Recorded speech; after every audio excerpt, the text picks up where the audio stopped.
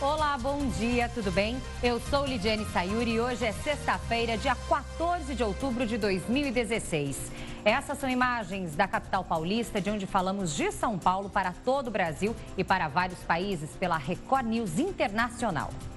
Olá, bom dia, tudo bem? Eu sou Clébio Cavagnoli. Uma polêmica escola criada em 2013 em Minas Gerais agora vai ganhar uma filial em São Paulo. E o anúncio provocou alvoroço nas redes sociais. É a Escola de Princesas. De um lado, uma parcela que diz que meninas não precisam fazer curso de comportamento e de organização da casa. De outro, os que acham que esses ensinamentos seriam bons para as meninas. A escola ensina culinária, etiqueta e dicas de moda e beleza para as meninas. E é focada no público feminino de 4 a 15 anos de idade. Você concorda com a proposta desse tipo de escola? É o que a nossa enquete de hoje quer saber. Para votar sim ou não, entre nas redes sociais. Use a hashtag LinkRecordNews. Vamos agora aos destaques de hoje. IBGE divulga que quase 23 milhões de brasileiros em idade produtiva estão sem trabalho. Mas apesar da alta no desemprego, quem pretende conseguir uma vaga temporária para Natal vai encontrar boas oportunidades. Ex-presidente Lula se torna réu pela terceira vez em mais uma ação penal. O adeus ao fofão morre aos 72 anos em São Paulo, o ator e humorista Orival Pessini. Sobre esses temas e muito mais, divida a sua opinião com a gente. Participe do nosso jornal, porque começa agora a primeira edição do Link Record News.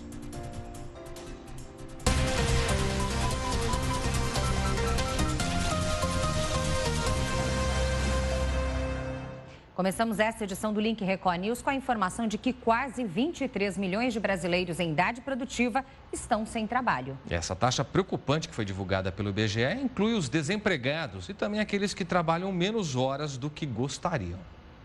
Renato é professor de inglês há 22 anos. Dá aulas em três escolas e ainda quer preencher mais espaço na agenda. Eu casei e com a necessidade de prover algo melhor para minha família, para minha esposa, eu sempre procuro aumentar um pouco a minha renda para que eu possa oferecer de melhor para eles. O professor, dentro do novo indicador divulgado pelo IBGE, é um dos 4,8 milhões de brasileiros com o mesmo perfil. Tem insuficiência de horas trabalhadas, apesar da disponibilidade e de precisar de mais renda. Ao todo, quase 23 milhões de brasileiros têm a mão de obra subutilizada em todo o país, o equivalente a 13,6% da população, além dos 11 milhões de desempregados formais. A pesquisa do IBGE ainda inclui nesse número as pessoas que têm potencial, habilidade técnica, mas estão fora do mercado de trabalho. São 6,2 milhões de brasileiros nessa situação. Entre eles, aqueles rejeitados por serem muito jovens ou considerados idosos para o cargo.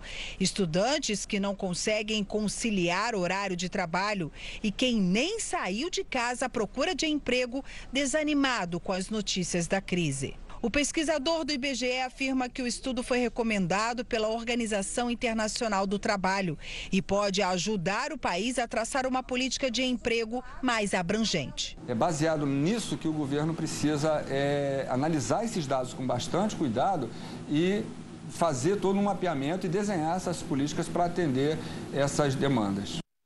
E apesar da alta no desemprego, quem pretende conseguir uma vaga temporária para o Natal vai encontrar boas oportunidades. Em São Paulo, há mais de 800 ofertas de emprego. Os nove atendentes desta loja de calçados vão receber um reforço para as vendas de final de ano. Dois temporários vão entrar na equipe. O movimento, né? O movimento sempre aumenta, né? Precisa para dar um bom atendimento. É essa expectativa de aumento no movimento e nas vendas o que faz crescer também o número de funcionários temporários a serem contratados nos próximos três meses. A Federação do Comércio de São Paulo estima que em todo o estado 20 mil pessoas sejam admitidas para esse tipo de vaga. 5 mil a mais que o mesmo período do ano passado. Em todo o país, o número pode passar dos 100 mil. A corrida em busca de funcionários que atendam aos requisitos exigidos pelas empresas já começou. Só hoje, nesta agência de recrutamento, foram abertas 800 vagas de emprego temporário. Além das tradicionais funções para essa época do ano, como vendedor, caixa e estoquista, tem aparecido por aqui oportunidades para cargos que exigem qualificação e pagam muito bem. Como gerente de operações, quem for selecionado para essa vaga vai ganhar por mês quase 20 mil reais. O trabalho temporário hoje em dia é, atende tanto a pessoa que fica na ponta da operação, como os gerentes, coordenadores, é algum cenário que vem mudando de um tempo para cá. Boas oportunidades, inclusive para quem busca uma recolocação no mercado de trabalho. Em média, 40% dos contratados são efetivados. É o que espera a Endria, com experiência em vendas. Há um ano sem trabalhar, ela não vê a hora de colocar o pé de novo em uma loja para vender, é claro. Com certeza vai sair. Está na hora. Bom, e quem precisa do serviço da saúde no Rio de Janeiro sofre com a falta de atendimento. A falta de recursos deixa ainda mais debilitado um sistema que já enfrenta dificuldades enormes. Ambulâncias estão paradas por falta de manutenção. É a terceira ambulância essa semana que para por falta de peça. Agora já são mais de 30 carros encostados nesta oficina na Ilha do Governador. O proprietário tinha contrato com o governo do estado para fazer a manutenção.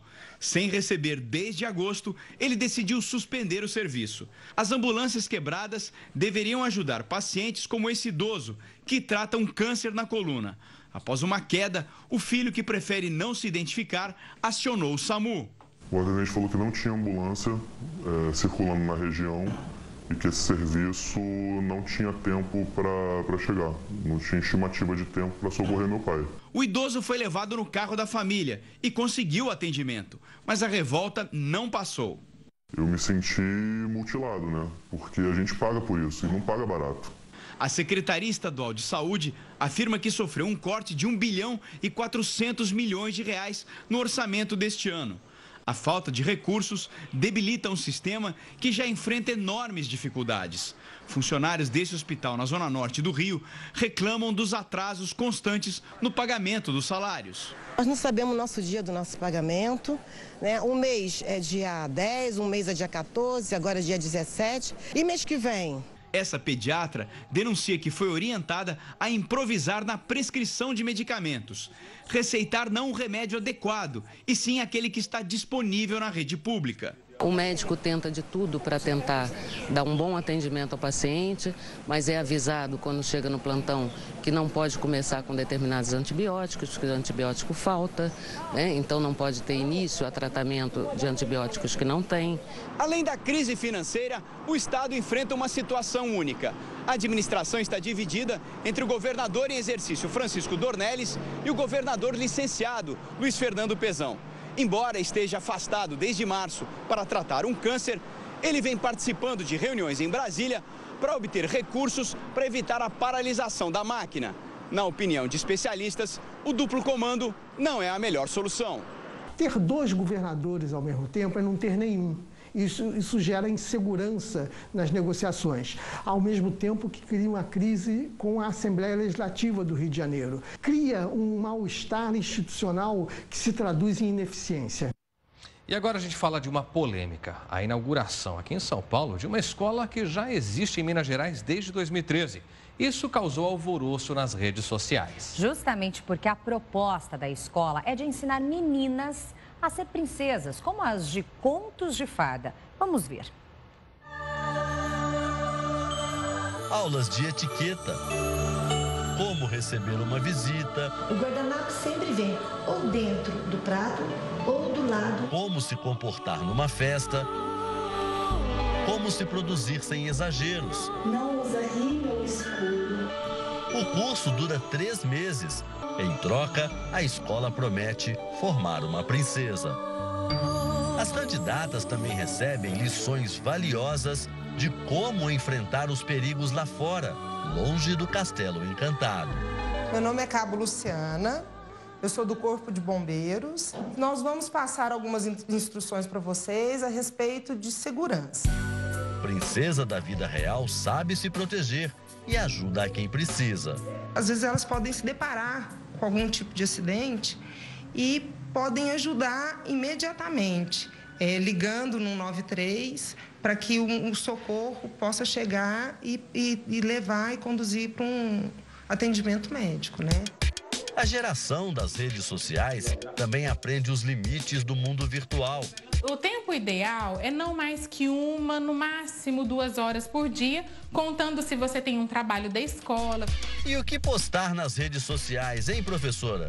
Eu posso postar foto de biquíni? Você tem que pensar quem vai estar vendo essa foto.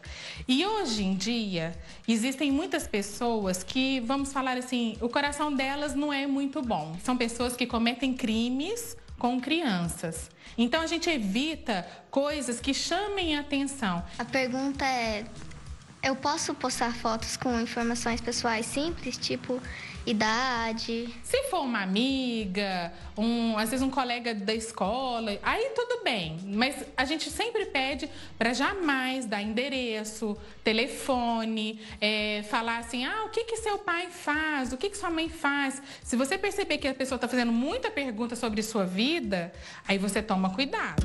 E na hora da balada, o que usar?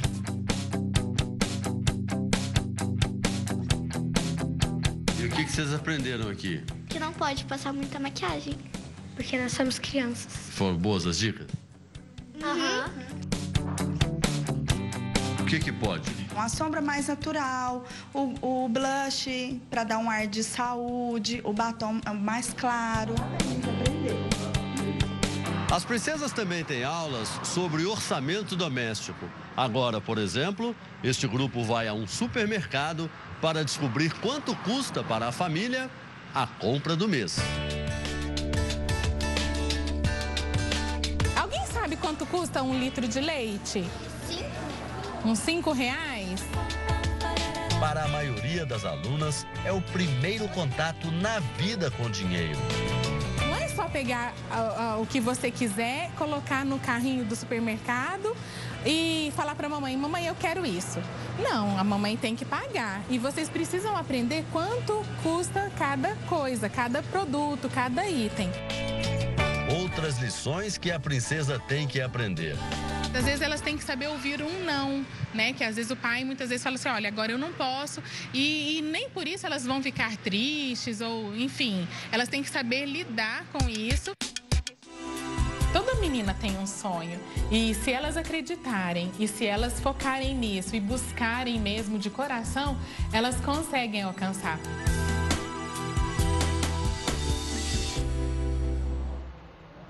Bom, diante desta reportagem, a enquete do dia. Você concorda com a proposta desse tipo de ensino? Para votar nas redes sociais, sim ou não, é muito fácil. Você entra agora no Twitter, também no Facebook da Record News, usa a hashtag Link Record News igual está embaixo na sua tela. E pode também manifestar o que pensa, da mesma forma com essa hashtag ou por meio do nosso WhatsApp. A gente vai colocar agora o número para você, está aí na tela, 11 95307 1851. Queremos conhecer a sua opinião e também que você manifeste o voto a respeito desse tema.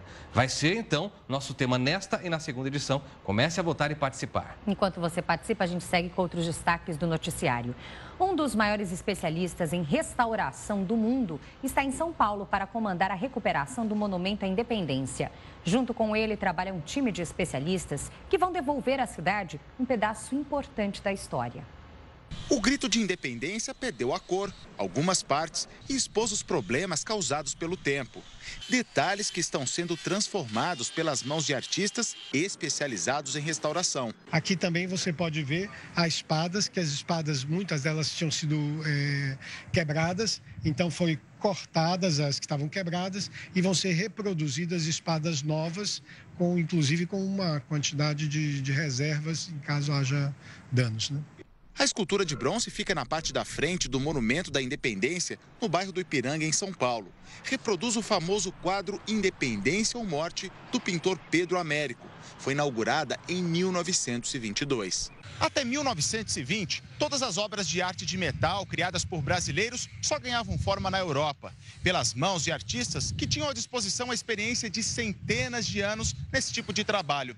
Com a criação do Liceu de Artes e Ofícios de São Paulo, veio um desafio: produzir as primeiras esculturas em bronze em território nacional. Essa peça aqui representa também o início de uma fundição independente do Brasil, né? E, obviamente, como todo começo, há problemas que, que, que de confecção na, de ordem técnica. Porém, nenhum desses problemas comprometeu a beleza da obra, que é o mais importante. O trabalho é feito por uma equipe internacional comandada pelo francês Antoine Amargé, que já restaurou esculturas de Rodin e peças do Palácio de Versalhes, na França. Ele diz que o maior desafio é manter o aspecto antigo da peça, mas é possível.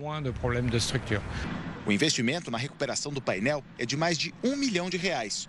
O trabalho é finalizado pelas mãos desta argentina, que devolve à escultura o verde musgo perdido com o tempo. É importante conservar o patrimônio cultural, conservar a história e a memória.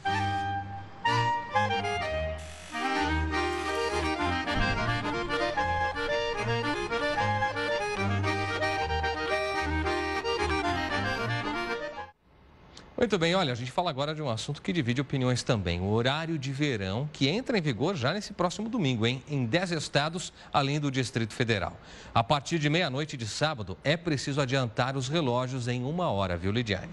É, Kleber, o horário de verão vai durar até o dia 19 de fevereiro de 2017. O governo estima uma economia de 147 milhões e meio de reais. Será reduzida a demanda durante o horário de pico, entre 18 e 21 horas. E com o horário de verão, a iluminação pública, por exemplo, é acionada mais tarde, deixando de coincidir com o horário de consumo da indústria e do comércio. É, mas como eu disse, divide opiniões. Muita gente não gosta. Eu sei que você não é muito fã, não. Principalmente para quem acorda cedo, é. É, é, complicado. Tem que levantar Os ainda mais cedo, né? Os primeiros dias são terríveis. E você o que pensa, hein? Mande pra gente uma mensagem também sobre isso com a hashtag Link Record News. Comente por que você gosta, por que não gosta. Queremos conhecer sua opinião em todos os assuntos. Agora a gente fala sobre uma situação que nos últimos três meses tem acontecido, vem crescendo no Brasil, uma tendência importada dos Estados Unidos. Os clubes de assinaturas. É, nesses últimos três anos já são mais de 350 mil assinantes que recebem de tudo em casa, de temperos a fraldas. Manhã de sábado. Assim que acorda, Juliana sabe que tem surpresa no portão. Ela abre a caixa e já se empolga com a variedade de sabores. Tem chatinho de cupuaçu, nossa, nunca comi. Juliana adora cozinhar, por isso virou assinante de um clube de compras. Paga 79 reais e uma vez por mês recebe a caixa de produtos gourmets, escolhidos pelos gerentes do clube. Como é que cozinha isso? O que, que eu vou fazer? Aí, de repente, está fazendo uma coisa nova e sai um pouco daquela coisa chata de comer sempre a mesma comida, né? As entregas são feitas preferencialmente nos dias indicados pelo assinante. Aqui na casa da professora Gisele, ela gosta de receber pessoalmente as compras do clube. E no caso dela, o conteúdo da caixa é todo planejado para o bebê, o João Lucas. A caixa vem cheia de novidades. O mordedor. Tudo surpresa. Tudo surpresa. Um protetor para a porta. Produtos para bebê que a mãe nem sabia que existiam. Tudo sem sair de casa, por 73 reais por mês. Se eu fosse comprar, daria daria mais. A caixinha ela sai bem mais em conta, né? O Brasil tem 250 clubes de compras especializados em todos os tipos de produtos. Os assinantes já passam de 350 mil. É uma forma até de ajudar, na verdade, o comércio tradicional, porque os assinantes vão descobrir essas novidades, produtos novos e depois eles acabam comprando. Bom, o que todo mundo gosta também é do pãozinho. O pãozinho nosso de cada dia é preferência nacional. Mas em cada canto do país, ele é chamado carinhosamente por um nome diferente. Francês, média, careca, filão ou cacetinho. O apelido varia, mas o sabor e a casquinha crocante agradam do mesmo jeito. Você pode colocar para mim seis cacetinhos. Aqui é pão de sal, né? Por favor, desse pão de careca. Cinco gramas. Eu quero três reais de pão de por favor farinha, sal, água e fermento. Quem diria que dessa mistura tão simples sairia algo assim saboroso que ninguém fica sem? Você tem que dar o ponto correto da massa e deixar ela o ponto certo também do descanso. Tem pão quente saindo do forno. Quanto mais moreno, mais crocante. Já os claros são bem macios tiver fresquinho, não precisa nem ser na chapa. Pãozinho fresquinho com manteiga é a melhor pedida. Paulistano adora pãozinho e aqui ele é chamado assim, francês. Segundo os padeiros, é que no começo do século XX, as pessoas que iam até a França gostavam desse pão comprido de lá, a baguete. Voltando para cá, tentaram reproduzir a receita. O pão saiu meio diferente, mas a influência europeia continuou no nome. Francês ou brasileiro, não importa. Em São Paulo, o dia só começa depois de um bom pão com manteiga na chapa, acompanhado de um café com leite. Seja de manhã, seja tardezinha, sempre é bom. O pão francês em Minas tem outro nome.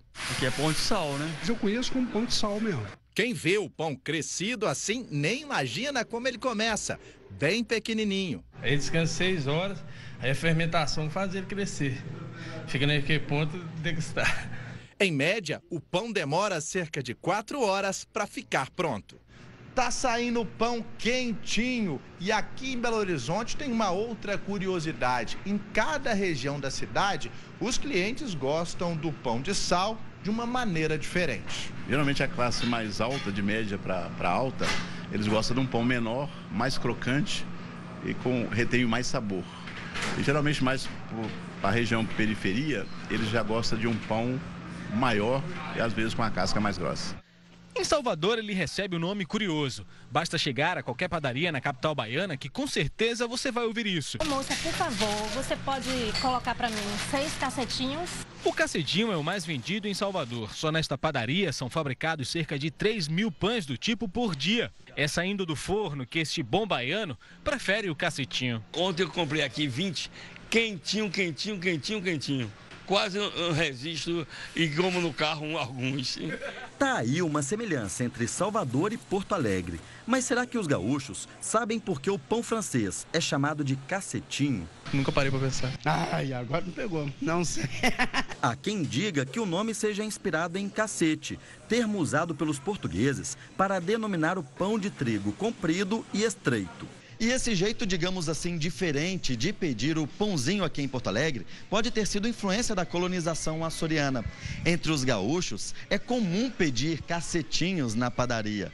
O problema é quando vem gente de fora. Fico meio encurvado, assim, de falar, falo meio baixinho, não falo muito né, alto, muito espontâneo. O forno não para de funcionar um minuto sequer. Eu gosto com a manteiguinha, né? E até quando ele tá bem quentinho, se a gente vai pedir só cinco, eu já tenho que pedir uns dez aí, porque já vai ser pouco, né? Na capital sergipana, o tradicional pãozinho francês de todas as manhãs é conhecido de forma bem peculiar. Aqui, ele é chamado de pão Jacó. É isso mesmo, com nome próprio, pão Jacó. Eu quero três reais de pão Jacó, por favor. Gosta de comer o pão Jacó com queijo? Com queijozinho, uma manteiguinha, é o mais interessante. Com queijo, com manteiga. Que te vier, ele é bom de todo jeito. No café da manhã não pode ser dispensado um pãozinho com manteiga. É irresistível. Todos os dias, seu Jânio faz o mesmo pedido na padaria. Por favor, desse pão de careca. Mais gostoso é o careca, porque ele é na dose certa, né? Na capital paraense, o pão francês é conhecido como pão careca. O motivo é que ele tem casca fina e lisa. Nesta padaria em Belém, a produção começa às 6 horas da manhã e só termina às 8 horas da noite. E o pão careca é o carro-chefe. Por dia são vendidas cerca de 2 mil unidades. Cada 15 minutos sai uma fornada de pão quentinho aqui. Tem média mais moreninha, ou mais clara, a gosto do freguês. Mas de onde saiu esse nome? Só pode ser perto do tamanho, né? Os mais antigos explicam que antes, média era o café com leite. E como a bebida era geralmente pedida junto com um pãozinho, acabou que média virou o pão. E tem outro pãozinho bem popular em outras regiões do país que aqui também tem nome diferente. Esse pão fofinho, que fica uma delícia na chapa com manteiga e depois requeijão, aqui no litoral de São Paulo se chama pão de cará. O cará é aquela raiz prima da batata. O curioso é que na massa não tem cará. Esse daqui, na verdade, é um pão de leite. É fantástico, né? A maciez do, do pão, a textura, o sabor é diferente, é especial. Oficialmente, ele é pão francês, mas em Limeira, no interior de São Paulo, todo mundo conhece por outro nome. Quem não é da cidade estranha a forma de pedir o pão com o nome de filão. O bom é que os atendentes já estão tão acostumados com essa confusão que no fim todo mundo se entende. Você chega para pedir, a pessoa não sabe o que é, aí você tem que apontar, é aquele ali e tal. E você, já comeu um filão hoje? Filãozinho, né? Porque o filão aqui pra gente em São Paulo é um francês bem grande. Bem então, maior, né? Agora, seja qual for o nome, com uma margarina, manteiga, queijo, o que quer que seja de manhã quentinho, não tem nada que se compare, né? É verdade. E você? Você viu a reportagem agora? Você mora em algum lugar que não passou aí? Tem um nome diferente ainda para chamar o pãozinho nosso de cada dia? Quer compartilhar? Quer falar como gosta desse pãozinho? Com manteiga, como o Clébio disse, na chapa? Enfim. Compartilhe hashtag Link News ou pelo nosso WhatsApp DDD 11 95307 1851 e viva o pão. Dura é fome, né? Com essa foto aqui, assim, pertinho do almoço, mas a gente vai tentando. Bom, vamos mudar um pouquinho de assunto e falar agora sobre algo que é muito complicado, porque namorar uma pessoa que trabalha com você na mesma empresa sempre traz uma situação delicada. É, o que será que o chefe vai pensar? E os colegas de trabalho? Será que a empresa pode proibir? Veja agora na reportagem um cá, a outra lá. Enquanto Yuri mantém contato com os fornecedores, Mariana conversa com os clientes da empresa. Desde que eu entrei, eu fiquei encantado, é muito bom. Aí surgiu a oportunidade de ela trabalhar num setor aqui, que não era também muito próximo ao meu, que a gente ficou meio receoso isso no início. E aí eu chamei ela para fazer entrevista e ela foi uma das melhores, ela entrou. Mas você é suspeito para falar, né? é que me contaram, me contaram, não fui, não fui eu que avaliei. Então já tá bem natural, a gente, ninguém acha nem ruim, nem quando a gente tá perto, nem nada, bem tranquilo aqui. Mas também a gente nem fica muito junto aqui, é só na hora do almoço mesmo.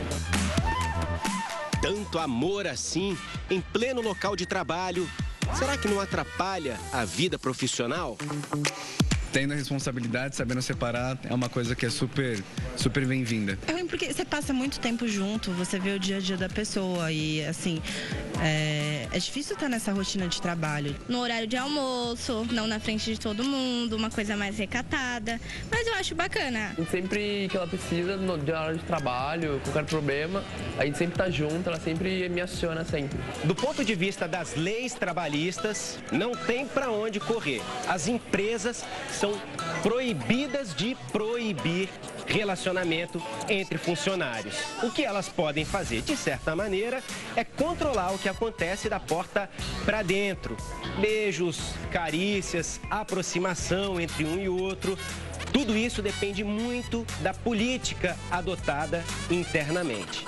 Por exemplo, aqui na empresa onde trabalham a Mariana e o Yuri, a gente vê essa cena linda, olha só que romântico.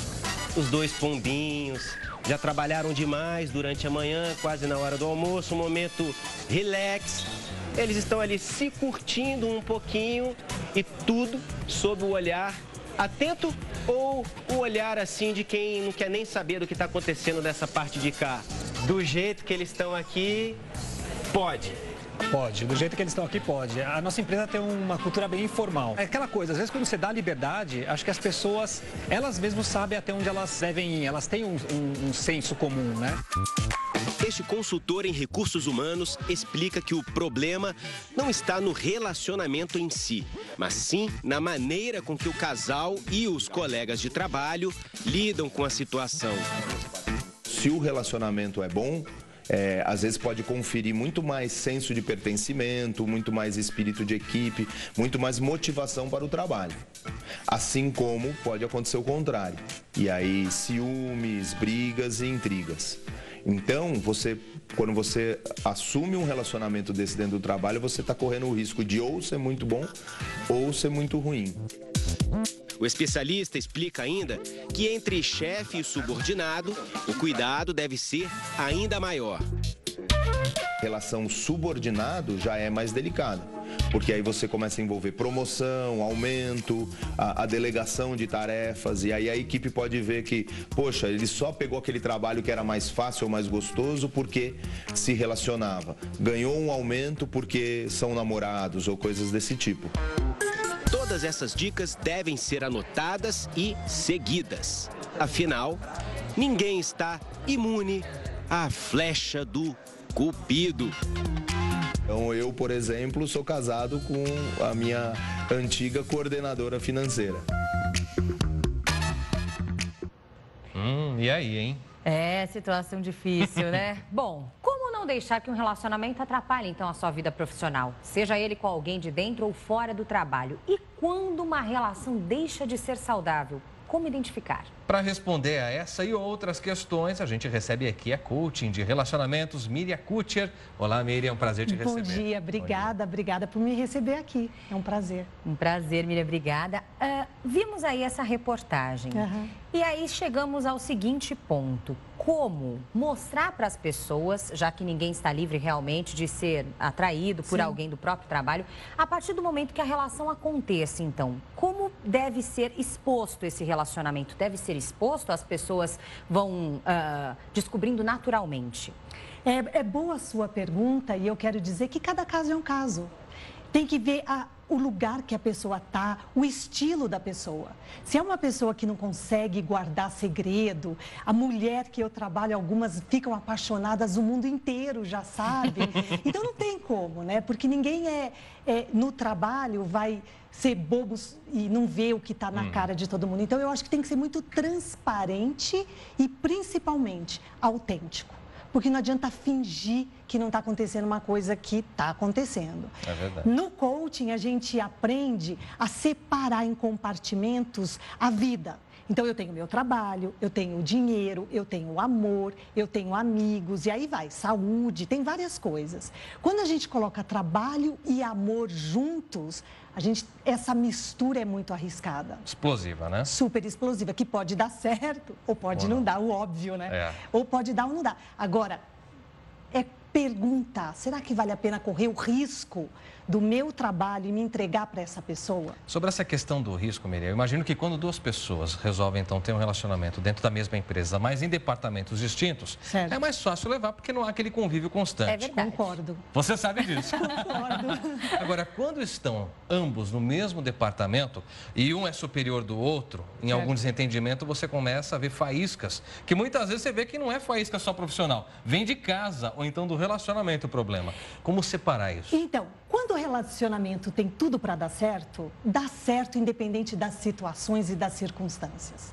Quando o relacionamento já está fragilizado, já tem algum problema, como você disse, uhum. em casa, aí é conseguir separar direito ou, não sei, sentar e, e ver se não está na hora de trocar de trabalho, não sei, é achar uma alternativa uhum. bem para aquele momento do, do casal. Não sei se, se faz sentido, porque às vezes é, acaba perdendo as duas coisas. Uhum. E eu conheço várias clientes que conheceram no trabalho, conseguiram um trabalho diferente porque não estava dando certo, não gosto de trabalhar. Eu jamais conseguiria trabalhar com meu marido, eu acho. Verdade. Os, eu, eu, acho que não dá, porque a gente. Eu gosto de dividir com ele o meu trabalho, uhum. ouvir a opinião dele, mas tá ali subordinado a ele, eu não, não sei se eu conseguiria. Algumas mulheres adoram. Uhum. O importante, eu, e eu fico batendo muito nessa tecla, é entender a situação individual. Uhum. Não, não, é ter uma um receita, rótulo. né? De jeito, uhum. imagina se tivesse. Seria no amor fácil. tem receita, no relacionamento tem receita. Miriam, você falou que no coaching você coloca as coisas em compartimentos. Sim. Então tem família, tem amor, enfim, trabalho qual o tamanho desse compartimento que a gente deve colocar no plano da vida realmente? O trabalho e o amor. Qual o tamanho deles? Eles têm tamanhos Adoro. variados, tamanhos iguais, enfim? Adoro. A vida da gente é uma montanha russa. Não existe uma, uma, uma vida inteira que o trabalho é mais do que o amor. Então, tem períodos na vida que o amor vai exigir mais. Outros períodos, o dinheiro exige mais. Agora, é comprovado, e não só aqui, mas nos Estados Unidos e no mundo inteiro, com o ser humano, o grande problema de estresse é no relacionamento. Uhum. Porque eu posso ser a mulher mais bem sucedida. Se eu não chegar em casa e não tiver com quem compartilhar, aonde fica o meu sucesso? Até, Miriam, algumas pessoas que dizem, eu gostei muito do que você falou isso. Quando a sua vida sentimental tiver acabado, parabéns, significa que a profissional está em ascensão. Às- e vice-versa. Verdade, às vezes é assim, é um É, acontece equilíbrio, muito né? isso. Acontece muito, mas o grande barato da vida é nesse compartimento, do jeito que você colocou, é eu saber que assim, hoje eu vou tomar um pouco mais de conta de um lado e depois eu vou para o outro. E a vida da gente, a gente vai brincando com Hum, isso. O que me faz feliz hoje? O que está chamando a minha atenção hoje? E não vai ser a mesma coisa daqui a um ano, né? Porque a gente vai amadurecendo. Agora, independente de você trabalhar com a pessoa, muitas vezes os problemas do relacionamento vêm à tona no seu momento de trabalho e atrapalham a concentração. Por exemplo, Total. uma briga muito forte, um possível término de relacionamento. Como lidar com isso sem que transpareça, sem que venha Sim. impactar na produtividade? Que boa pergunta, né? Muitos casos, eu acho quase impossível.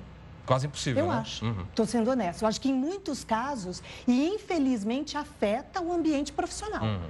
Então, se a pessoa não consegue separar, deixar em casa, ela ela está perdendo. É, é perder mesmo espaço no trabalho, é perder e, e não ter. é, a vida vira um caos. Mas é difícil também virar a chavinha, É, né? Porque o que a gente percebe também é que muitas pessoas são completamente felizes em uma coisa e não em outra. Sim. Então, elas utilizam, por exemplo, estou cheia de problemas em casa, então venho feliz aqui para o trabalho, porque aqui é a minha válvula de escape. Assim como o contrário também. Às vezes o trabalho é cansativo e aí você vai para casa com. "Oh, agora sim eu vou viver um pouquinho. Não consegue realmente equilibrar tudo, né? O que eu gosto é de âncoras. Então, eu acho que assim, a gente tem que colocar âncoras na vida para a gente. Não, não é nem o rótulo, mas é assim, o que pode me fortalecer aqui e o que pode me fortalecer ali. Então, eu acho que assim, quando eu chegar no meu trabalho, eu coloco o meu chapéu profissional. Então, ele está aqui, ele está me incomodando, a gente brigou a noite inteira, mas eu vou colocar o meu chapéu profissional. E aí, como eu posso fazer isso? Então, eu acho que cada pessoa pode encontrar uma forma de se lembrar, enquanto no ambiente profissional, de que aqui eu não vou permitir que aconteça uma discussão pessoal. Agora, muitas. Eu, eu falo de mulher porque eu trabalho com mulher.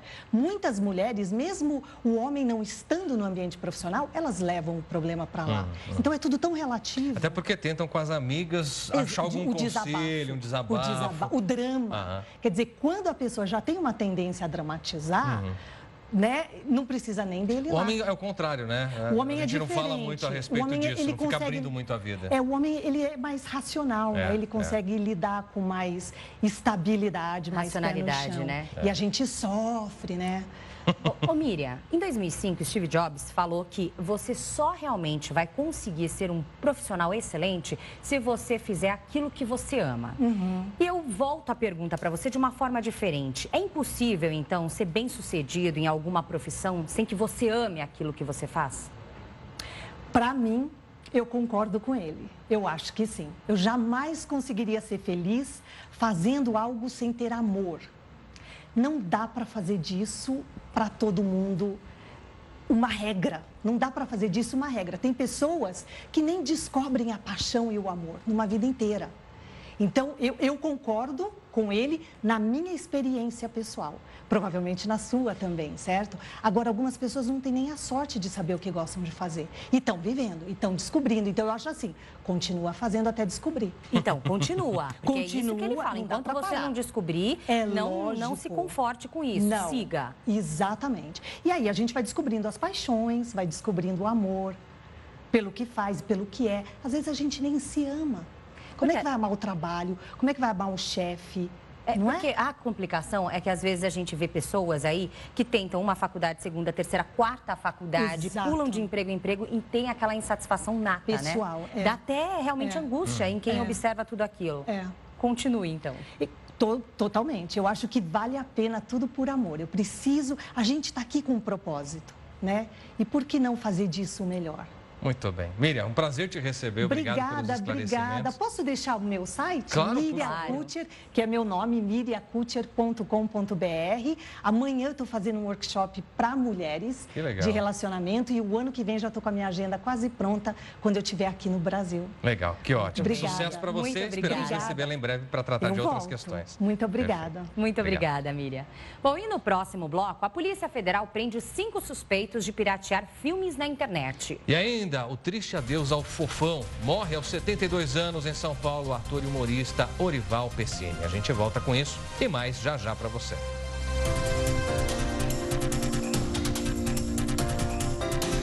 11 horas da manhã, mais 51 minutos. Estamos de volta com o Link Record News ao vivo e agora com a sua participação.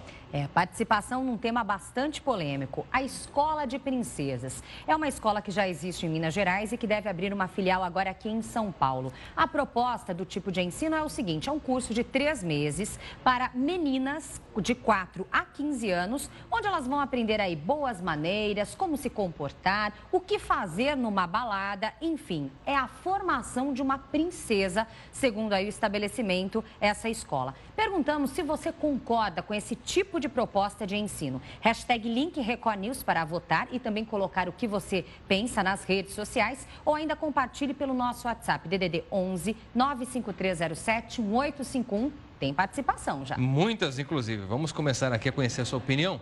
Inicialmente pelo Gladson de Belo Horizonte. Diz assim: Eu concordo com as escolas para meninas. É muito bom aprender bons costumes. Obrigado, Gladson. Tem agora a opinião da Arlete de Vitória no Espírito Santo. Segundo a Arlete, é positivo esse tipo de ensino. Nas escolas americanas existem aulas de economia doméstica presentes no currículo básico das escolas. Obrigada, Arlete. De Itatiba, em São Paulo, a opinião do Fernando, que também concorda. Ele diz: Eu concordo, pois minha mulher só aprendeu a cozinhar depois que nós casamos. Minha cunhada tem 31 anos, mora com a mãe e não sabe nem fritar um ovo. Fernando, você arrumou confusão aqui com a cunhada, hein? Obrigado por participar. O Eduardo de Vitória, no Espírito Santo, escreve: esse tipo de educação é opcional. Porém, qualquer coisa que afaste crianças e jovens do ócio é válido, segundo ele. Obrigada, Eduardo. Nair de Campinas agora diz sim, nada como ser prendada e ter muitos predicados. Obrigado, Nair. Tem o Anilson também, que escreve direto de Florianópolis. Vão criar dondocas, gente sem utilidade para a vida. Portanto, questão polêmica que a gente continua pedindo a sua colaboração. O voto na enquete também, o que você pensa sobre o assunto. E por falar sobre o que pensam sobre o assunto, pedimos também a sua opinião quanto ao pão francês. O pãozinho nosso de cada dia, como ele é conhecido. Clébio, tem gente já se manifestando, não? Ah, todo mundo que gosta do pãozinho francês está dizendo aqui. Por exemplo, a Aline de Vitória da Conquista diz: Assim como os mineiros, chamamos o pão francês de pão de sal. Então a gente tem a foto aí para você ver o pão de sal, que em São Paulo se chama pão francês. Muito bem, tem pãozinhos também de outros lugares aqui, pãezinhos. O Cleiton do Ceará, aqui o nome é pão carioca ou carioquinha. É isso aí, Mas Cleiton, olha, direto carioquinha. do Ceará. Será que no Rio de Janeiro é carioquinha também? Então, no Ceará o pão é carioquinha? Você que é do Rio, manda pra gente. Como é que chama aí o pão francês? Vamos saber agora em Araraquara, interior de São Paulo. Pão de água em Araraquara. Que coisa interessante, mesmo estando no estado de São Paulo, tem um nome diferente. Agora, pão de água, por que será pão de água? Não Interessante, sei. né? É, Tá bom. interessante. Se tiver algum padeiro aí de Araraquara, explica pra gente por que pão de água. Bom, tem mais aqui, olha, o Igor de Marabá, lá no Pará, aqui chamamos de pão de massa grossa. Olha aí a imagem. Pão de massa grossa é assim que o pessoal do Pará, região de Marabá, chama então o nosso famoso pãozinho. E tem ainda o Felipe de Salvador que diz o seguinte: na capital baiana, inclusive a gente viu na reportagem, Felipe, o pão é pão de sal ou cacetinho. Exemplo do que acontece no sul do Brasil também, que é chamado de cacetinho. Obrigado, Felipe, por então compartilhar com a gente essa, essa questão, porque o pão de sal eu não sabia. A gente não sabia do pão de sal É. em Salvador. Aliás, é interessante saber que nas duas capitais, no extremo, né? Uma no Nordeste e outra no Sul, ele tem o mesmo Eles nome. dividem o mesmo nome. Exatamente. Bom, continue então nos alimentando com essas curiosidades tão regionais. Participe, participe também do tema da nossa enquete. Daqui a pouco a gente volta com mais interatividade. É, porque agora a gente vai falar de segurança pública. Isso porque cinco pessoas foram presas nesta quinta-feira na segunda fase de uma operação chamada de Barba Negra. É uma referência aos piratas ingleses do século XVIII. É, a operação movimentou equipes da Polícia Federal em São Paulo, Minas Gerais, Pernambuco e Paraíba. E foram tirados do ar três grandes sites que ofereciam ilegalmente o serviço de filmes pela internet. O homem preso em São Paulo é apontado como captador de publicidade para os três sites piratas. Além dele, mais quatro pessoas foram presas e uma está foragida. Os sites ofereciam filmes, séries, programas de TV.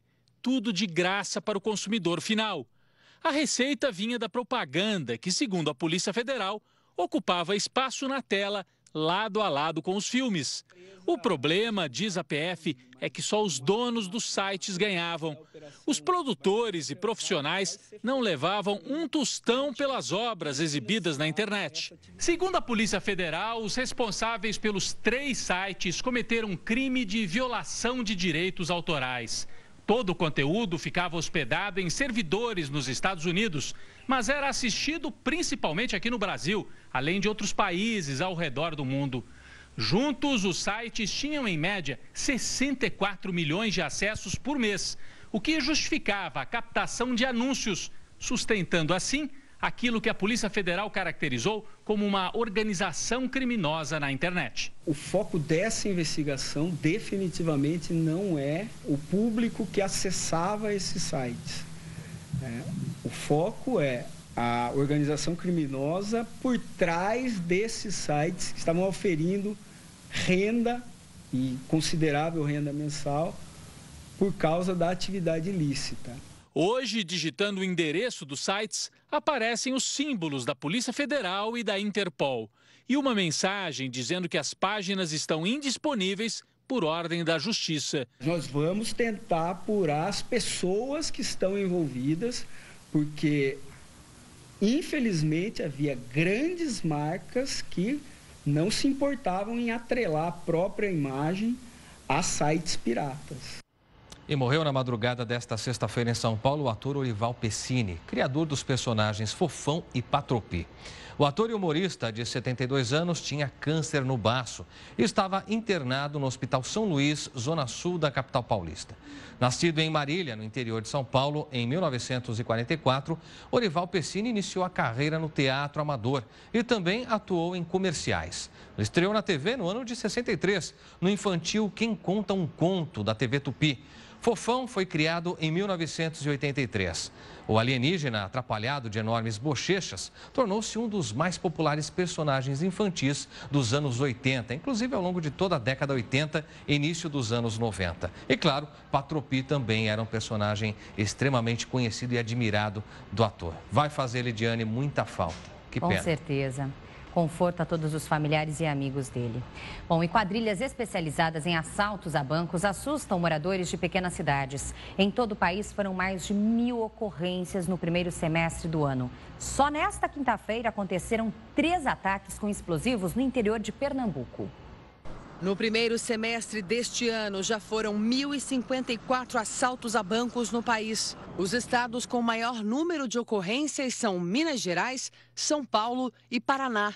Esta semana, em São José dos Pinhais, na região metropolitana de Curitiba, ladrões invadiram um banco durante o dia e explodiram os caixas. Houve tiroteio.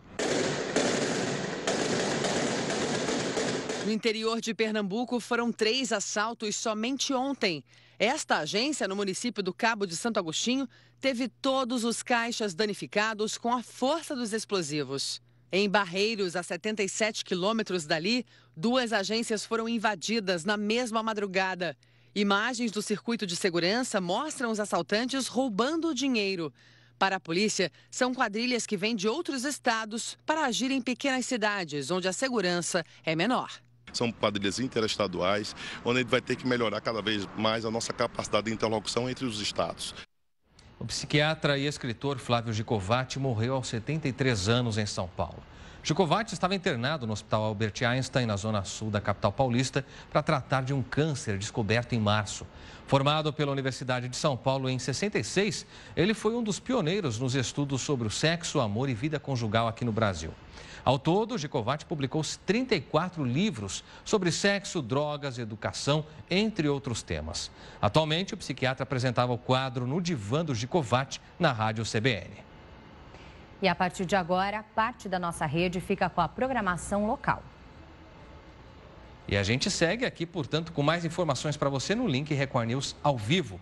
Algo importante agora para quem mora em São Paulo, viu? A Zona Azul vai mudar. Está quase na hora de dar adeus aos folhetinhos. É, ainda bem, viu? A partir do próximo mês, tudo vai ser digital. E quem ganha a vida vendendo os talões está preocupado. Conceição está preocupada. Ela é dona de uma banca de jornal há 20 anos na região central de São Paulo. A venda de folhetos da Zona Azul representa 30% do faturamento da banca. A gente não sabe se esses clientes que vinham, que, que, que vinham até a banca e, e compravam a Zona Azul vão continuar vindo na banca. A partir do dia 20 de novembro, o sistema de Zona Azul vai ser completamente informatizado. O objetivo da Prefeitura de São Paulo é acabar com as fraudes e a venda irregular de folhetos. Para os milhões de motoristas de São Paulo, vai ser uma adaptação e tanto. No sistema antigo, ninguém tinha muita dificuldade para comprar o folheto da Zona Azul. Agora, o jeito vai ser baixar o aplicativo no celular e contar com a internet na rua. Ou então, bater perna até encontrar um ponto de venda autorizado.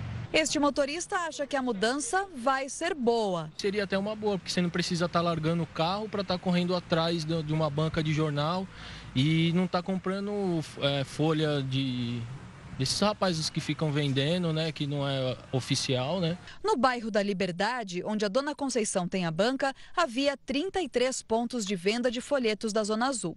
O bairro tem quase 70 mil habitantes e é cheio de lojas, restaurantes, hospitais, um movimento enorme o dia inteiro. Para quem não tem telefone celular com internet, a prefeitura está cadastrando novos pontos de venda para o sistema informatizado. Por enquanto, tem menos de 300 na cidade inteira, apenas um aqui na Liberdade. Será que já está funcionando? Nós viemos até o único local cadastrado no bairro da Liberdade, um dos mais turísticos de São Paulo, para comprar a Zona Azul no novo sistema. Só que a maquininha ainda não chegou por aqui. É uma loja de doces. Aliás, os funcionários nem sabiam que o local está cadastrado no site da CET. É, parece que falta informação para o motorista e principalmente para os revendedores. A CET prometeu para a dona Conceição há 20 dias mandar um representante para explicar como vai funcionar a nova tecnologia. Mas até agora, nada. O jeito que ela encontrou, por enquanto, foi racionar a venda dos poucos folhetos que restam. Estou restringindo duas folhinhas por pessoas. Quem vem aqui, então, não pode levar o talão inteiro? Não, é só duas, duas, duas folhinhas para poder usar na, na hora que ela ficar aqui. Bom, e no próximo bloco, Moro recebe a ação penal do STF e Eduardo Cunha vira réu na Lava Jato, no Paraná. É, e também o ex-presidente Lula se torna réu pela terceira vez em mais uma ação penal. Tudo isso e muito mais já já para você.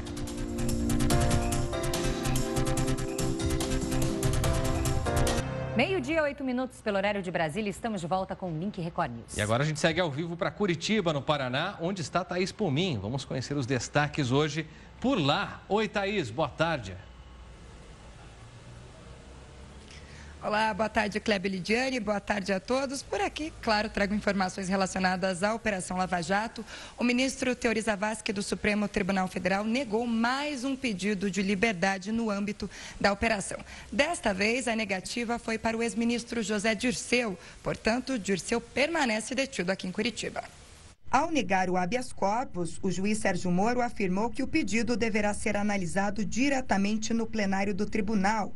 Ainda não há data para os ministros da Suprema Corte julgarem o caso. O petista está preso preventivamente desde agosto do ano passado por suspeita de envolvimento na Lava Jato.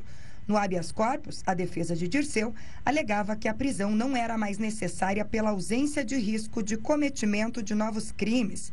A prisão preventiva do petista foi decretada no ano passado sob o argumento de que ele recebeu propina oriunda de contratos da Petrobras enquanto era investigado pelo mensalão do PT. Segundo as investigações da Lava Jato, Dirceu teria simulado contratos com empresas para receber 1 milhão e 700 mil reais desviados da Petrobras. A defesa nega e diz que ele efetivamente prestou serviços de consultoria para construtoras e outras firmas. E ainda com notícias relacionadas à Operação Lava Jato, o juiz Sérgio Moro aceitou a denúncia contra o ex-deputado federal Eduardo Cunha. Cunha é acusado dos crimes de corrupção passiva, lavagem de dinheiro e evasão fiscal. De acordo com as investigações, Cunha recebeu propina por meio de contratos de exploração de petróleo na África. Com o recebimento da denúncia, Cunha passa a ser réu no processo e tem 10 dias para apresentar resposta à acusação. Esta é a primeira vez que o ex-parlamentar responde a um processo na Justiça Federal do Paraná. No despacho, Moro determinou que a ação tramite sem qualquer sigilo. O argumento é de que o assunto é de interesse público. Cunha perdeu o direito ao foro privilegiado após ter o mandato de deputado cassado na Câmara no dia 12 de setembro. Com isso, o Supremo Tribunal Federal encaminhou a ação contra o PMDBista ao juiz Sérgio Moro. Esses são os principais destaques de hoje por aqui. Kleber Lidiane, volto com vocês. Um bom final de semana. Nos vemos na segunda-feira. Obrigado, Thaís. Ótimo final de semana para você também. Até segunda-feira. E a Receita Federal retirou a isenção de impostos do Instituto Lula. E, além disso, o ex-presidente se tornou réu pela terceira vez em mais uma ação penal. Agora ele é acusado de ter atuado junto ao BNDES para que o banco liberasse financiamentos para obras de engenharia, principalmente em Angola. O ex-presidente vai responder por lavagem de dinheiro, corrupção passiva, organização criminosa e tráfico de influência. Além de Lula, também viraram réus o empresário Marcelo Odebrecht, o sobrinho de Lula, Taiguara dos Santos, e mais oito pessoas. De acordo com o Ministério Público Federal, a Odebrecht fechou oito contratos com o BNDES em 2010, que somaram 350 milhões de dólares. Os procuradores afirmam que, em agradecimento ao favor, a construtora teria pago 30 milhões de reais aos envolvidos no esquema. O sobrinho de Lula teria usado a empresa dele para justificar os repasses de dinheiro via Odebrecht para o ex-presidente. Além de virar réu em mais um processo, Lula também terá que se explicar à Receita Federal. Os auditores afirmam que o Instituto Lula fez gastos que não são compatíveis com a instituição sem fins lucrativos. Segundo a Receita, o Instituto seria um mero escritório para administrar interesses particulares e financeiros do ex-presidente. A Delegacia da Receita Federal de Administração Tributária em São Paulo mandou suspender a isenção tributária do imposto de renda e da contribuição social sobre o lucro líquido do Instituto Luiz Inácio Lula da Silva, referente ao ano de 2011. Com a decisão, o Instituto terá que pagar o imposto de renda e contribuições sociais, dos quais estava isento, além de uma multa que pode chegar a 2 milhões de reais. De acordo com a Receita, nesse período, o Instituto teria recebido quase 35 milhões de reais em doações, a maioria de construtoras, como Odebrecht e Camargo Correia, investigadas na Operação Lava Jato. A Receita também teria descoberto que o Instituto pagou 1 milhão e 300 mil reais para a empresa do filho do ex-presidente Lula e de Fernando Bitar, que é dono do sítio em Atibaia, sem que a empresa tivesse prestado qualquer serviço ao Instituto, o que configura desvio de finalidade da mesma forma, a instituição teria pago despesas pessoais do ex-presidente e da esposa, Dona Marisa. Em nota, o Instituto Lula diz que a Receita Federal está contestando despesas que representam apenas 2,74% das receitas vindas de doações. O Instituto também afirma que é destinado para a divulgação e preservação da memória, do legado e do acervo do ex-presidente Lula e que o Instituto não concede qualquer tipo de benefício ao ex-presidente. Sobre a decisão da Justiça, a defesa do ex-presidente disse que Lula é vítima de uma manipulação das leis e que as acusações são absurdas e sem provas. Afirmou ainda que o ex-presidente nunca interferiu nas decisões do BNDES e que vai apresentar a defesa dentro do prazo estabelecido pela Justiça. Agora a gente segue ao vivo para Araraquara, no interior de São Paulo, para falar com a Sônia Souza e saber dos destaques de hoje do Record News Paulista. Oi, Sônia, boa tarde para você. Boa tarde, Soninha.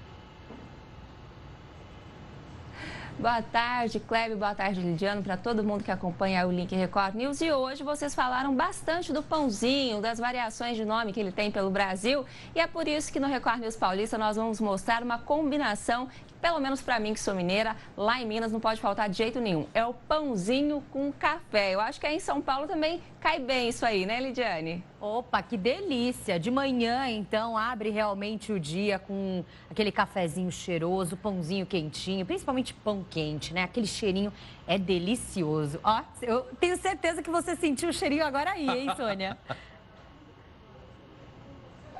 Eu senti sim, porque realmente é uma combinação que o brasileiro adora. E o café agora está ficando especial, é isso mesmo. O paladar do brasileiro está mais apurado e os cafés especiais estão ficando por aqui. O Brasil é o maior exportador do mundo, mas grande parte desses grãos especiais estão ficando aqui no país mesmo. É, tudo isso porque o brasileiro está mais exigente, está gostando de um cafezinho especial, né? E tem buscado essas cafeterias que são especializadas. Então a gente vai mostrar um pouquinho disso no Record News Paulista e a gente também tem música hoje no Record News Paulista. Tem um garotinho que é de apenas 10 anos que dá um banho em muito DJ por aí, viu? O Cauã é de Santos e ele dá um show de mixagem. Ele está fazendo maior sucesso nas redes sociais, tem o incentivo da família, tem talento. E vocês vão ver daqui a pouquinho esse mini DJ aí, mas que já é um grande sucesso, viu, gente? E também tem as nossas atrações da agenda cultural, com música, com evento, com teatro tudo para você se programar para o fim de semana. O Record News Paulista de hoje está imperdível, viu? Então espero vocês, Kleber, Lidiane. Muito bem, obrigada, Sônia. Bom trabalho para você. Todo mundo ligadinho aí no Record News Paulista. Obrigado, Sônia. E no próximo bloco, os destaques do noticiário internacional para você. E a gente vai para o intervalo com dicas da nossa agenda cultural. E aí, galera do Link Record News, nós somos a Inc. Eu sou a Luísa. Eu sou o Lucas. Esse domingo tem show no estúdio a partir das 5 horas, com E a Terra Nunca Me Pareceu Tão Distante, Ventre. Ingressos vendendo antecipados ou na porta. A gente se vê lá. Uh! Olá pessoal, aqui é o violeiro Chico Lobo de Minas Gerais. Quero convidar para estarmos juntos nesse final de semana. Final de semana cheio de cantoria. Sexta-feira estarei em Bom Despacho, Minas Gerais, em Praça Pública. Sábado estarei em Presidente Prudente, interior de São Paulo, no festival Viva São Gonçalo de Viola Caipira. E domingo estarei no Cultural Bar em Juiz de Fora, no encerramento do Festival Sertanejo de Raiz, onde receberei Renata Teixeira. Vão ser cantorias maravilhosas. Convido a vocês. Vamos ficar ligados no link Record News. Violeiro Chico Lobo.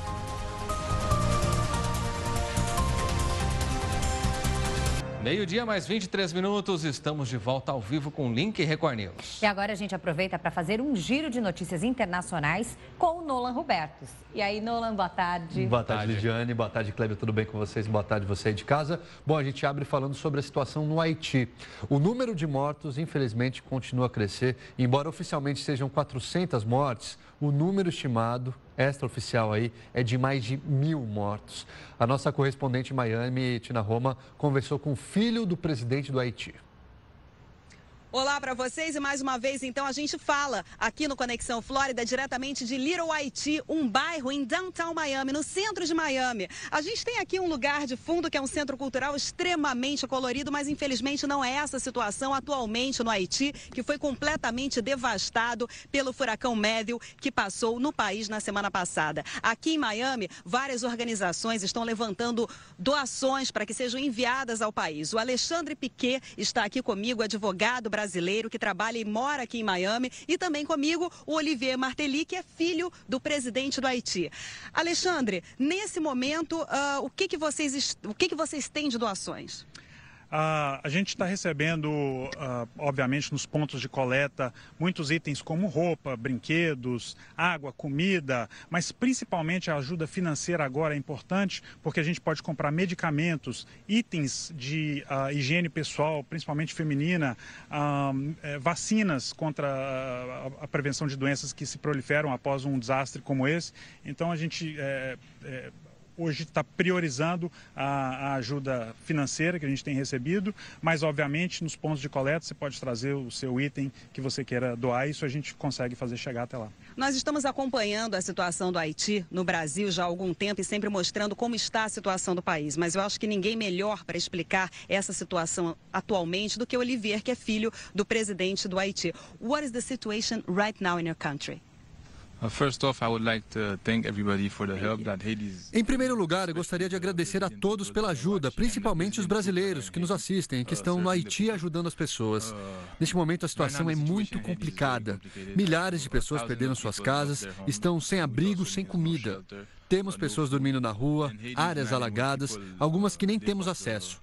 A situação é muito complexa, por isso a gente precisa da ajuda de todos. Então, obrigado, Alexandre, pela ajuda. Tenho certeza que a gente vai se reerguer. Então, precisamos de um pouco de tudo: suprimentos, médicos, ajuda para as crianças e também para os idosos. Thank you, Oliveira. Olha, para resumir, então, que ele falou é exatamente isso que a gente tem visto, né, Alexandre? 90% do Haiti devastado. Eles precisam de tudo. Eles não têm casa, eles não têm comida, eles não têm água. E como Oliveira agora está agradecendo a ajuda de todos e sabendo quão é importante essa ajuda vinda do mundo inteiro, aí do Brasil também, eles não têm nada nesse momento, não é? Correto. Como o Olivier bem é, já dissertou, eles perderam as casas, perderam a comida, porque ele, a população depende da agricultura e 98% da, da, das plantações foram devastadas. Eles não têm água e realmente é, no, no, no, Brasil a gente óbvio, tem muitos problemas e a gente também ajuda o Brasil através da Brasil Foundation, um trabalho maravilhoso que a gente desenvolve há anos, mas nada parecido com isso. Nós não temos o tipo de desastre natural que os países uh, vizinhos aqui, como Haiti, Cuba e as ilhas, sofrem constantemente. É algo devastador. Alexandre, quem está no Brasil pode ajudar. Nesse momento, a gente também precisa de ajuda financeira, que é muito importante. Quem quer ajudar com alguma organização diretamente com Haiti ou aqui nos Estados Unidos, o que pode fazer? Sim, uh, tem várias como a Unicef, Save the Children, tem muitas boas organizações. A gente trabalha com duas específicas que são confiáveis e uh, a gente uh, tem trabalhado diretamente nesses esforços. Uma delas é a Jack Brewer Foundation, ele é um ex-jogador de futebol americano, muito ativo, muito atuante e o site é jbfworldwide.org. Uh, e a outra é a Fundação da Família uh, Martelly, a família do Olivier, que é uma fundação que já existe há bastante tempo. Uh, o website é freb, F-R-E-B.ht. Isso é muito importante. Quem puder ajudar nesse momento, o Haiti precisa de todos nós. Alexandre, muito obrigada pela sua participação. Thanks, Olivier. Thank you very much for coming and talk to us. Obrigada, então. E olha, a gente tem aí então todas as informações para você participar, inclusive através das redes sociais e ficar a par de tudo o que está acontecendo nesse momento e como ajudar. Isso aí, recado dado da Tina Roma. E lembrando também quem quiser ajudar aqui no Brasil, pelo site da Unicef. Então, lá tem todas as informações de como você pode fazer a doação. Pode ser uma doação única, semanal ou até uma doação mensal. O site é unicef.org.br. Muito importante sua ajuda nesse momento. E olha um absurdo, hein? Um casal gay foi detido na Indonésia depois de publicar uma foto no Facebook em que os dois homens aparecem se beijando. Os dois homens, um estudante de 22 anos e um de 24, depois das queixas de internautas pela foto publicada em 9 de outubro. Eles foram presos então depois de queixas de internautas. Depois de um interrogatório, os dois foram liberados, mas podem ser condenados por infração à lei sobre pornografia nas redes sociais uma legislação extremamente restritiva no país. Lidiane Kleber, o que vocês acham disso? Prender o casal por conta de um beijo, só porque um casal gay. Na Indonésia, é, não, não, é, não é proibido ser homossexual, como acontece em alguns países muçulmanos, isso não acontece na Indonésia, mas apesar disso, aí a justiça, eles, eles seguem sendo perseguidos lá por conta de seguir. A Indonésia, que é palco realmente de muita polêmica. Tivemos aí o caso daquele brasileiro que recebeu a sentença de morte por tráfico de drogas. Então, eles realmente têm uma punição muito mais rígida e severa. Agora, as redes sociais estão aí abertas para qualquer tipo de propagação. Essa, no caso, era do amor. Uhum. Por que, então, condenar uma, uma cena como essa com prisão? Será que é para tanto? Será que não tem nada mais é. importante acontecendo naquele país para as pois é. autoridades é. se atentarem? Enfim. É, tolerância que a gente vê em diversos países e que aqui no Brasil acontece também. Inclusive quando casais homossexuais são espancados no meio de rua de grandes cidades como Rio de Janeiro e São Paulo. Infelizmente lá as autoridades que deveriam é, defender é que estão punindo, né? É. Esse casal ainda não foi julgado, deve ser julgado, foi detido e depois liberado. Por enquanto a gente espera que não seja, um, não seja julgado aí esse casal a condenação de pena de ficar preso, né? Absurdo. Bom, um grupo de venezuelanas liderado por Lilian Tintori, que é mulher do líder opositor preso Leopoldo Lopes, pressiona para a realização do referendo revogatório contra o presidente Nicolás Maduro. Ou seja, querem tirar Maduro do poder. Lilian e deputadas opositoras entregaram um documento no Palácio das Academias, em Caracas, no qual formalizaram o movimento e se declararam em desobediência civil para conseguir que a consulta se realize ainda neste ano. A coalizão opositora mesa da Unidade Democrática, chamada de MUD, se prepara para coletar entre 26 e 28 de outubro 4 milhões de assinaturas necessárias para que a autoridade eleitoral convoque então o referendo. Se essa consulta for realizada antes do dia 10 de janeiro do ano que vem e Maduro tiver o um mandato revogado, haverá então novas eleições. Mas se ocorrer depois dessa data, depois de 10 de janeiro, mesmo se o presidente perder, os dois anos restantes de seu mandato serão conduzidos pelo vice-presidente. Maduro, de qualquer maneira, sairia do poder, mas assumiria o vice-presidente. Esses foram os destaques internacionais de hoje. Lidiane Klebel, obrigado. A gente se vê segunda-feira com mais destaques por aí. Até segunda-feira, Nolan. Até segunda-feira. Obrigado, Nolan. Bom final de semana. Valeu para vocês também. E no próximo bloco, você sabe, tem link pet aqui. Hoje é sexta-feira, dia de ver qual será o pet que vai nos visitar. É já já. E a gente vai para o intervalo agora com mais dicas da nossa agenda cultural. Olá, pessoal. Eu sou Erika Pina, cantora, e eu tô aqui para convidar vocês pro show beneficente que eu vou fazer terça-feira que vem, tá? Essa noite é uma parceria entre Erika Pina, ONG Bipink e São Paulo Sarau. O nome dela é Noite Bipink Deep Jazz. E quem tá aqui do meu lado é a Cristiana Castrucci, idealizadora dessa ONG, que vai falar um pouquinho sobre a ONG. Olá, eu sou a Cris. A Bipink é uma, uma organização sem fins lucrativos a gente viaja pelo Brasil todo, levando informação, consciência e educação sobre o câncer feminino. Contamos com você, essa parceria maravilhosa com a Érica, um jazz super gostoso num lugar maravilhoso que é o Sarau. Vamos todos juntos lutar contra esse câncer de mama. Olha, de Pink, tá todo mundo sem fronteiras. Então é isso, galera. A gente vê vocês terça-feira, dia 18 às 20 horas, Avenida Brigadeiro Luiz Antônio 4764, São Paulo, SP. Um beijo e até lá. Tchau. Beijo. Oi, pessoal. Nós somos o Duo Gaúcho de Música Eletrônica Coma. Dia 16, domingo, estaremos no Festival Mimo em Paraty. Lançando nosso disco Subtropical Temperado.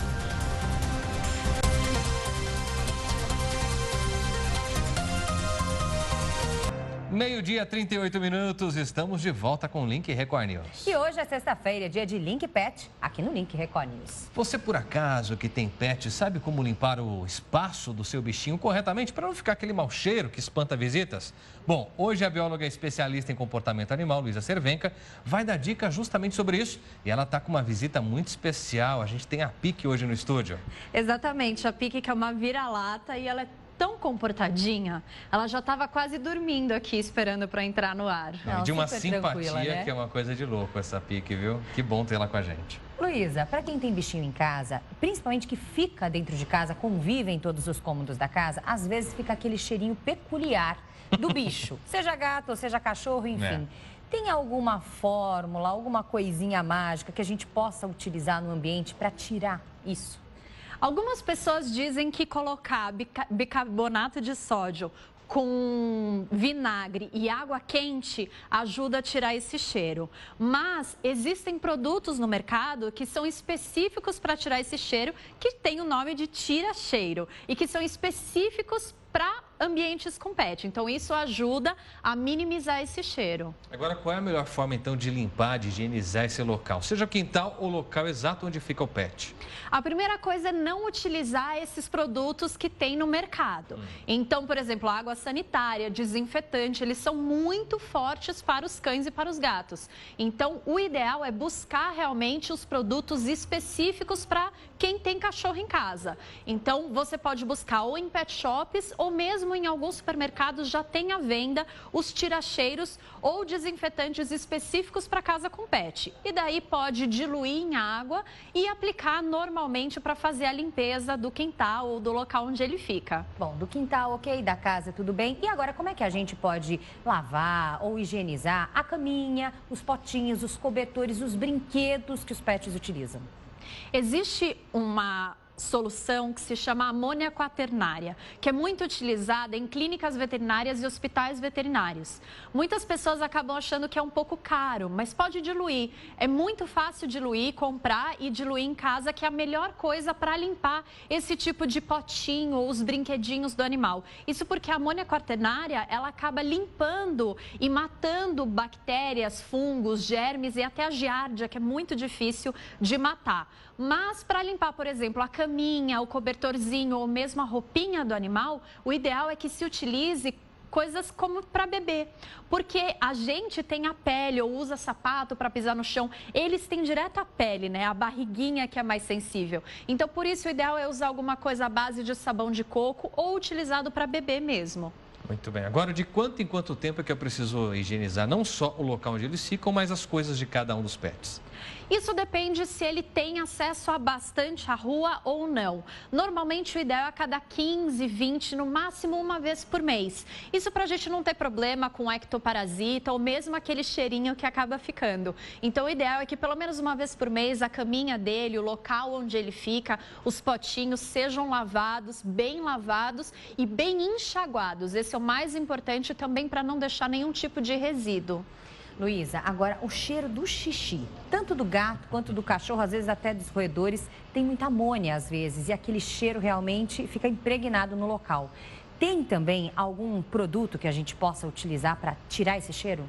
Tem sim. A primeira coisa é, é limpar esse xixi que realmente é muito forte, principalmente de machos não castrados, é muito mais forte. E utilizar, buscar no mercado os tira-cheiros, que eles são os melhores para realmente retirar esse tipo de cheiro. Tem alguns até que são biológicos, que conseguem consumir a bactéria que causa esse cheiro. Então, no mercado existem vários produtos que podem ser utilizados para retirar esse cheiro. Desinfetantes, detergentes e mesmo água sanitária não vão ser suficientes. Por isso, é é ideal buscar um produto específico para o pet. Muito bem. Lembrando sempre do cuidado, então, para não utilizar produtos fortes demais que possam, de alguma forma, impactar na saúde do bichinho, né? É, pode apresentar, inclusive, alergia, né? Dependendo do produto. Exatamente. Normalmente, as pessoas costumam limpar o quintal, a área onde o pet fica, com água sanitária ou mesmo sabão em pó. E começa, começam a surgir algumas coceiras e até uma parte avermelhada na barriguinha do cachorro. Porque ele deita ali, né? Então, por isso, é importante utilizar produtos que sejam específicos para ele e limpar bem o local para que não fiquem resíduos e não causem esse tipo de alergia. Muito bem, Luísa. Obrigado pelas informações. Você e a PIC voltam na edição da tarde às três horas para tirarmos outras dúvidas a respeito dos cuidados e limpeza com os nossos pets e os espaços deles. Até daqui a pouco. Até. Até logo mais, Luiz. Essa edição do Link Record News fica por aqui. Se você quiser sugerir algum assunto para o jornal, mande uma mensagem para o nosso WhatsApp, participe nas redes sociais, use para isso a hashtag Link Record News. Acesse também a nossa página no Facebook e o nosso Twitter. Entre na página da Record News no Portal R7. Lembrando, a gente se encontra de novo às três horas da tarde na segunda edição do Link Record News ao vivo. Até já, portanto. Record News, informação para você crescer. Faz tchau, Pique.